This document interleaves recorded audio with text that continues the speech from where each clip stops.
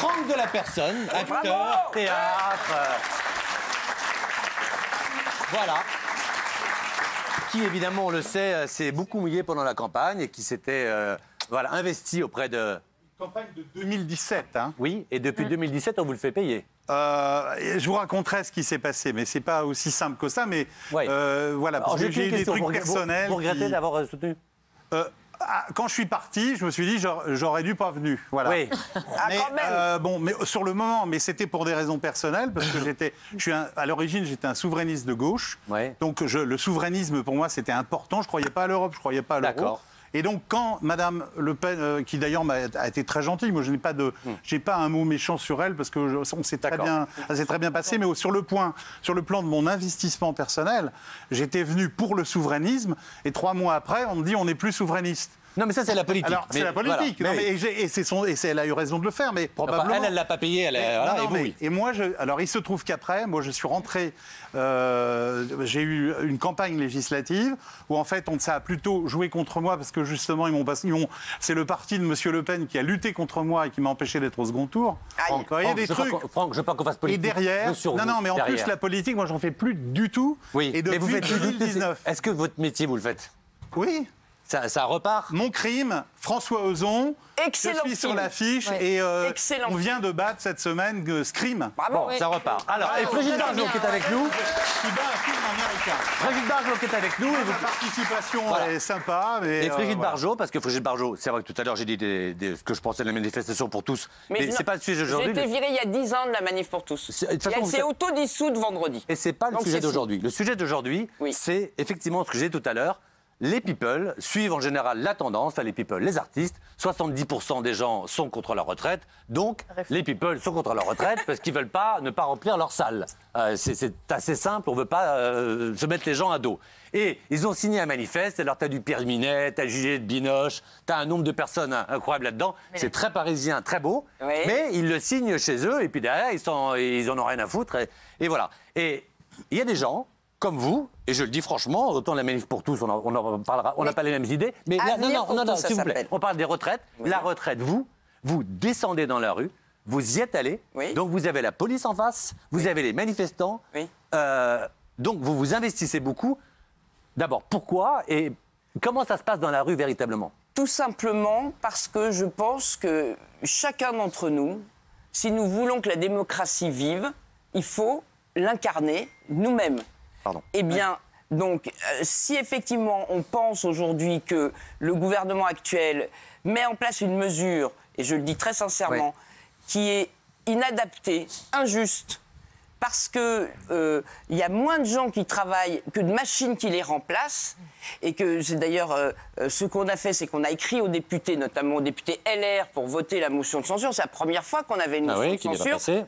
Qui était votée par les LFI et, le, et, le, et Ouais. les RN. Mais attends, pas trop de politique. Savoir, c'est vous, vous qui êtes alors, dans la attends, rue. Je termine juste pour dire qu'à partir de ce moment-là, il faut tout faire pour que ce que demande le peuple advienne à l'Assemblée. Voilà. Ah Donc, oui. il faut. Et voilà. D'accord, Ah, c'est. Et vois juste, juste, quand vous descendez dans la rue, parce que Oui. nous, on a des témoignages, mais je reconnais que je ne suis pas beaucoup Alors descendu ça, dans la c'est rue. un sujet facile. Le mien, au départ, était un sujet beaucoup plus compliqué. Quoique, les sondages, à 70%, les Français étaient pour une union homosexuelle égale en mairie, Oui. mais où on ne change pas la filiation des enfants. je mais, termine, on- mais oui, c'est ça non, que mais- je non, mais c'est un autre sujet parce que là, c'est- Il y avait c'est- beaucoup de monde, Oui, mais là, oui, mais là, c'était, c'était une manif, ça, a parlé, ça n'a pas fait ce qu'il y a aujourd'hui. Aujourd'hui, ça brûle, Paris brûle. Oui. Les Français se battent contre la police. On dit que la police fait des horreurs, on dit que les gens font des horreurs. Il y a, il y a des pavés qui sont lancés, des policiers disent qu'ils reçoivent des, des, des balles, des boules de comment ça s'appelle, de, Pétanque. de pétanque, de Oui. pétanque. Il y a des morts. J'aimerais savoir vous qui êtes dans la rue, comment ça se passe, votre, la police par exemple. Ah bah non, mais la police. Alors là, dès que ça commence. Alors je suis désolée, je vais vous décevoir, cher du tout, Mathieu. je dis la vérité. Dès que ça commence à cogner ou qu'il y a trop de lacrymo, moi c'est fini. Euh, on- on- on- voilà, je, je, je- Vous avez on ne peut pas supporter ça. Je ne descends pas pour la violence. La violence est notre ennemi. Nous allons perdre parce que ça va être de la faute, soit des manifestants, soit de la police, soit des. Donc non. Euh, en revanche, là où c'est très important, c'est et il faut comprendre aussi pourquoi ça se tend, c'est quand le gouvernement et le président de la République n'entendent pas le pays. Voilà. Merci. Euh, Il y en a un qui applaudit. Hein, voilà. Et, et est-ce Vous pouvez y aller. Ils ne hein. prennent pas position. Non, non, mais, Je crois qu'il faut le dire. hein, Mais- faut quand même le dire. mais moi, moi j'ai une question. Après, j'ai une question. Parce que ça me fait toujours rire, les, les artistes. L'autre jour, j'avais des gens que je trouve charmants. J'avais Herbert Léonard, tout ça. Et ils viennent parler des retraites, et ils viennent parler d'eux. Mais ils viennent parler de choses une fois que tout a été euh, voté. Non. Soit vous parlez avant, je n'ai pas entendu un artiste cette année, quand il y avait Zemmour, quand il n'y avait pas un ou un ou deux qui ont été blacklistés, je n'en ai pas entendu un. Et maintenant que ça arrive, ils nous racontent leur retraite. Oui. Donc, il y, y y a aussi, il y a aussi ça. Il y a des causes faciles à soutenir, effectivement, qui permettent à une carrière de progresser. Il y a des causes pas faciles, je- j'en suis la digne représentante. Euh, et là, à la différence de mon ami Franck, nous, enfin, moi, je n'ai plus, enfin, j'ai plus mon travail d'avant. Mais est-ce que vous pensez que Je vous ne que vous serai plus que jamais chroniqueur télé. Ah non, ça, on est d'accord que c'est évident. co- c'est compliqué. Je ne monterai pas sur scène et pourtant, je n'ai pas eu d'accident de voiture et je n'ai Frigide, aucun bébé. Oh, Frigide, Ah oui. est-ce que, vous êtes- est-ce que vous êtes toujours convaincu aussi? Quand on descend dans la rue, faut être Ah, vous allez trouver des super photos. Ah, J'ai le même blouson. Regarde. Ah oui, c'est vrai. Frigide, Frigide, comme, quand on descend dans la rue Oui. euh, et qu'on a du, un peu d'impact sur les gens, Mm. on a un peu de pouvoir parce qu'on fait la télévision, faut quand même être sûr de ses convictions. Est-ce que vous pensez toujours que vous avez raison? Absolument. Mais je- en revanche, je déplore. Est-ce que vous pensez toujours est- que vous avez raison? Bien sûr, Mathieu, je pense simplement que le message que je diffusais à la tête des immenses manifs, vous savez, trois fois un million, euh, quand il n'y a pas de syndicat, et, et sur un sujet aussi complexe que la reconnaissance. Oui, enfin, pardon, j'ai quand même entendu aussi, pardon, parce que c'est pour ça que je vous dis, je vous dis, ça me fait un peu rire parce que et l'un et l'autre, et là je vais être un petit peu dur, Non, mais moi, après, et l'un j'ai- et l'autre. j'ai même perdu mon appart, cher. Non, mais je- je- là où je suis un peu dur, c'est que la manif pour tous. Vous étiez le leader, vous avez donné la parole à tous les homophobes, et puis un an après, non, quand non, vous... Attendez, je finis. Un, un an après, Aucun quand vous avez vu que c'était passé, vous avez dit, non, on s'est pas compris, c'était, j'étais pas dans ce que... C'était pas vraiment ça, nanana. Et vous, Franck, un peu pareil. Vous avez soutenu Non, non. le Front National, Franck, je finis. Et après, vous avez dit, et après, vous avez dit, non, mais c'était une erreur, ta, ta, ta, et pour une- rebosser. Faut assumer, une les erreur, gars. Parce que quand vous êtes souverainiste, que vous entrez pour soutenir une dame qui, qui a du mal à, à casser son plafond de verre et que vous lui dites on va essayer de, de l'attaquer, je vais essayer de vous aider parce que je suis pour la démocratie et je suis souverainiste, et que trois mois après, elle décide de changer pour des raisons politiques tout, alors que moi j'ai tout foutu dans la balance, Ouais. je, je dis, j'ai été aussi honnête avec elle que j'ai été au début avec les autres, parce que moi je viens plutôt du monde mélanchoniste. hein. Pendant 15 ans, j'ai travaillé qu'avec des réalisateurs Décidément. très investis, etc. Et j'y croyais en plus. À J'y Mélenchon croyais, en plus j'y croyais. Mais je n'y crois plus à rien du tout, ni d'un côté ni de l'autre. Non, Et pourquoi? Parce que quand le souverainisme. Tes convictions. Quand mes vous- convictions, c'est le souverainisme. allez- Est-ce que vous- est-ce que vous allez co- co- continuer de donner votre avis maintenant que vous retravaillez? Alors, le- le- je donnerai mon avis sur autre- d'une autre manière. C'est-à-dire que je, ce qui m'est arrivé, euh, euh, j'ai été droit dans mes bottes quand j'y suis allé. Ouais. J'ai pris, je savais que ça serait, la- ça serait dur. Je- J'en ai parlé à ma mère qui était très, très souffrante, très malade, etc. Moi, après, j'ai, euh, euh, quand j'ai vu que ça n'allait pas, j'ai dit bon, bah alors je m'en vais. C'est aussi simple pour moi d'arriver que de repartir. Et j'ai dit, je m'en vais pour ces raisons-là.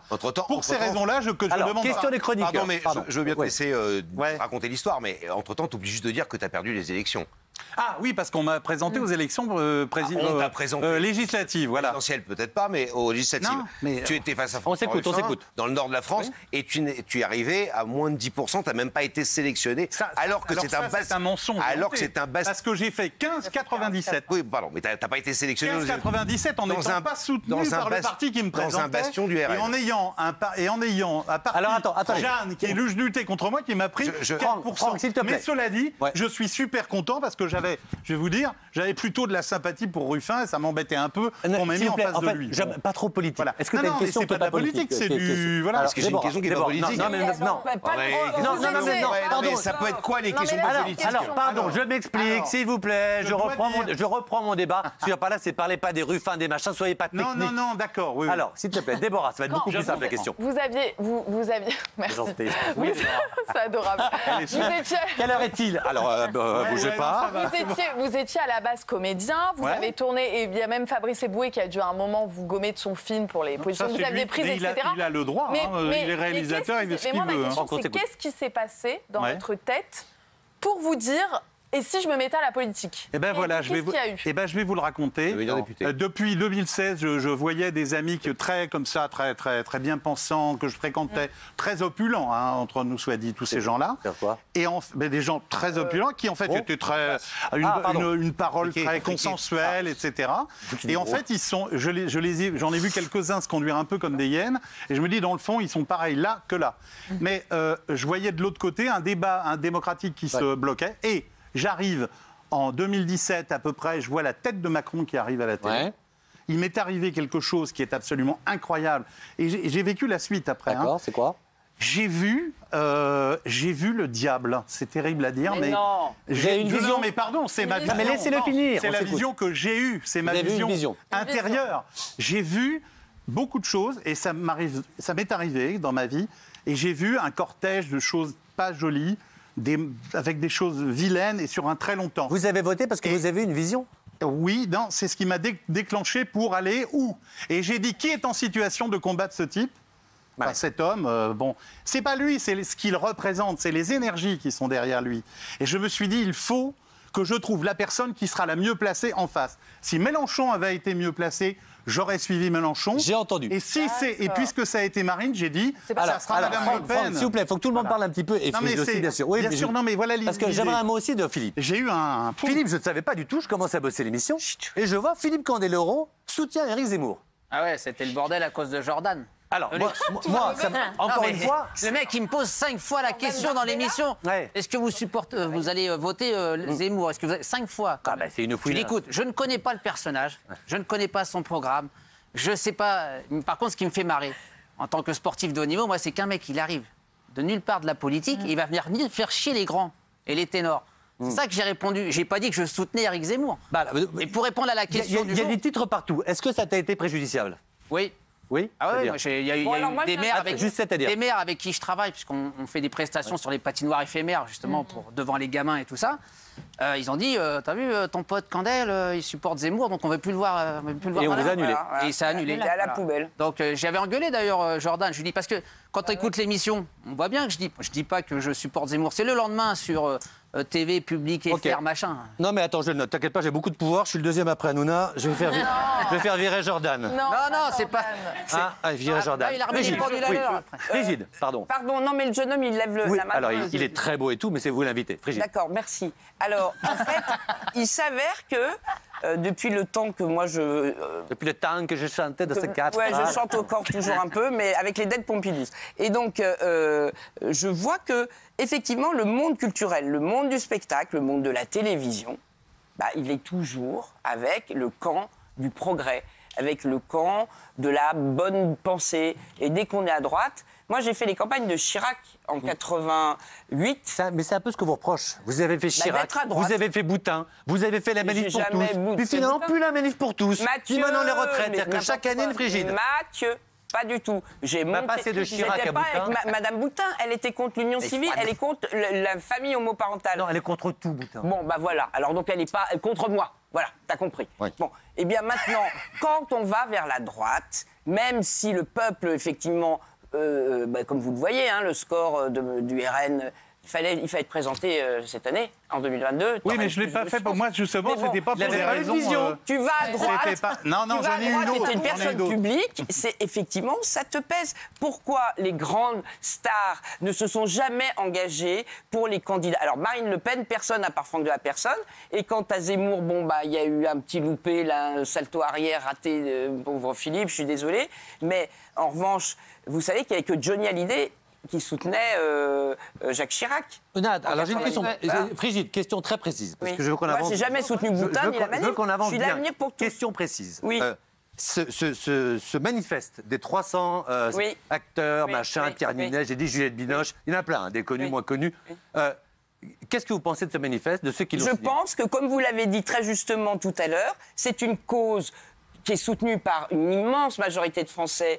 Attendez que ça redégénère un peu plus peut-être qu'on verra des gens quitter leur signature et tout d'un coup être un peu moins euh, favorables à cette, euh, Oui, à- moi, au retrait de la réforme. Sincèrement, Voilà. moi, je, euh, ils m'auraient appelé, je les aurais soutenus, j'aurais signé aussi. Vous auriez signé Et je pense qu'il y en a beaucoup là-dedans parce que j'en connais certains qui ont, euh, je les connais, ils sont, ils sont sincères dans leur démarche. La preuve, mais Et il faut pas. Moi, par- non, mais voilà, je veux dire, euh, il y a une sincérité dans. Alors j'aimerais un petit peu de monde. Jean-Michel, toi. Oui, parce qu'il me fait. Jean-Michel, c'est un- Il y a- il y, forcément des stars aussi qui sont pour la réforme et, et jamais ils feront une tribune. Mais Donc, non. il y a quand même Si, il y a Mathieu bien. Delormeau. Non, mais c'est C'est vrai, je l'ai oui. fait l'autre jour. Mais oui, bravo. Bah non, là, j'ai fait couper le truc. Ah. Donc, donc ça donne quand même moins, moins de poids à, à cette, euh, à cette, euh, cette, euh, Ouais. pas comment on appelle ça. Oui, ça se manifeste. Voilà, Florian, pardon, tout c'est- à l'heure tu voulais parler. Oui, non, moi, ce que je voulais dire, c'est que c'est, moi, je trouve ça très courageux de la part des, des stars, des célébrités de se positionner. Pour une raison toute simple, c'est que les journalistes, après, ne leur parlent que de ça. On se rappelle de, de Faudel et de Doc Gineco qui avaient soutenu Sarkozy. Ça leur a coûté leur Ah bah carrière. oui, voilà, eux. quand Vincent Lindon, dans un autre genre, c'est pas vraiment un parti politique, mais quand il prend parti au moment de la pandémie, Oui. euh, qui fait une, une tribune de 15 minutes euh, diffusée sur Mediapart où il dit que les hôpitaux sont dans un état lamentable, les journalistes, pendant un an, ne lui parlent que de ça. Donc, Pardon, ils prennent Florian, des gros mais à l'inverse, à l'inverse, notre l'animateur euh, Laurent Ruquier, qui a toujours dit pour qui il votait, Ségolène Royal, tout ça, n'a jamais eu de soucis. Est-ce Mais que, les- ces gens qui prennent pas position, ce sont aussi des gens à problème, souvent? Pardon. sais rien. Et moi, Frigide, la seule chose, Oui. Pas que je vous reproche, vous allez dans la rue et vous avez du courage, et je dis bravo. Parce que moi, j'y vais pas. donc, Oui, surtout euh, qu'il y a des gens qui me crachent dessus, c'est des manifs de gauche et ils sont pas contents. Ouais, et puis venez pas Et, trop, eh, euh, Charlotte et- et, d'homophobe. traînez pas trop dans le marais. quand même. Euh, vous perdez pas, c'est le quatrième, prenez un Non, mais plan. tant qu'ils sont aux invalides, ça Euh, va. non, non, mais- on ne mais- dépasse pas les invalides. Vous avez quand même dit le, le mariage gay, c'est le mariage entre deux animaux. Mais n'importe quoi. Mais alors, bon, mais alors là, je je suis obligée de répondre. Non, non, mais je vais- moi, je suis faire obligée de répondre. parce que- Je suis Ce que je voulais dire, c'est que vous changez d'avis après chaque manif. ça. J'ai jamais. J'ai écrit en octobre pour tout le monde là, tous les journalistes, Madame Morini Bosque qui se connaît tout euh, sur tout. D'ailleurs, je voilà, je vous êtes une, pour moi une référence. Balle perdue. Ah bah dis donc, c'est ta journée En octobre, C'est une critique. Ouais, qu'il y a quelqu'un qui t'aime. septembre 2012, j'écrivais. Pardon, pas du tout. Pas même non, non, mais je vous trouve assez honnête quand vous, voilà, dans vos, dans vos argumentaires et tout. Donc, euh, pardon, j'avais envie de le dire. Bon. Merci beaucoup. Alors c'est tout. Et donc je voulais dire que sur le site frigidebargeau.com, qui existait avant que se monte ce collectif, de- mais qui n'existe plus de toute façon, il n'existe Ouais, bah plus non. que mon asso, la- l'avenir pour tous, et sinon leur syndicat de la famille, de la famille, c'est pas pareil. Moi je défends les familles.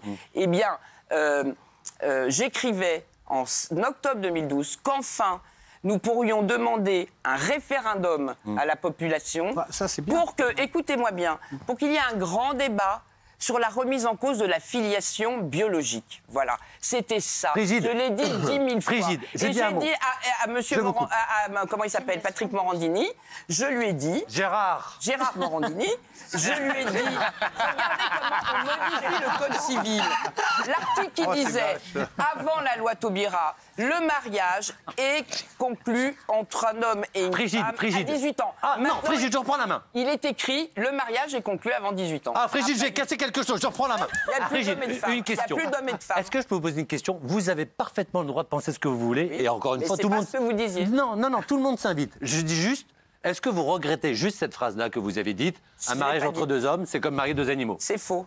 J'ai dit exactement, s'il n'y a plus l'homme et la femme c'est dans marrant, la vous phrase, n'assumez écoutez-moi bien, s'il n'y a plus les mots homme et femme, hein, on en est au non-binarisme, au, au troisième sexe, au troisième genre, c'est la journée de la visibilité du transgenrisme, il n'y aura plus d'hommes et de femmes, donc on pourra y mettre ce qu'on veut, et pourquoi pas des animaux. J'ai pas dit que les homosexuels étaient... Non, mais Bah, en voilà. tout cas, elle n'est pas homophobe. Mais je vous aime quand même je- et vous n'êtes pas homophobe. Et Laurent Ruquier Non, me je l'a suis dit. pas homophobe. Moi, ce que je veux. Le président de l'Avenir pour tous est gay. Ah, j'ai eu peur. J'ai cru. mais- Non, j'ai- j'ai- Oh la vache Ah, j'ai dit, on va finir par le président est gay. Non, non, non. Il y a la com. Moi, ce que je dis. De c'est que- l'avenir pour tous. Ce que notre je dis, asso. et j'en suis sûr, qui, ce c'est que tout passe par la communication. Ouais. Monsieur Véronique Genet, vous, on n'a pas toujours les mêmes idées, mais je suis ravi de vous rencontrer. Mais vous- Franck également. Et que malgré tout, malgré tout, malgré tout, euh, il faut avoir des gens qui ont du courage. Parler, c'est facile. Agir, c'est mieux. C'est Simone Veil qui le disait. Donc euh, voilà, c'est quand même important. Et je voudrais finir aussi en montrant quoi Mais Ah, bien f- sûr. nos livres. Bah, bien avec quelque sûr. chose- eh oui. Ah, elle n'est pas venue pour la cause de la retraite, elle est venue pour ses bouquins. Hein elle est venue pour ses petits Pour mes bouquins. tracts, euh, Ah, la petite fille le du guignol. choix Pom, pom, pom, entre pom, pom. un homme et une femme pour les couples. Ah, on arrêtez avec ça. Voilà. Les deux bouquins de Frigide à acheter ou pas.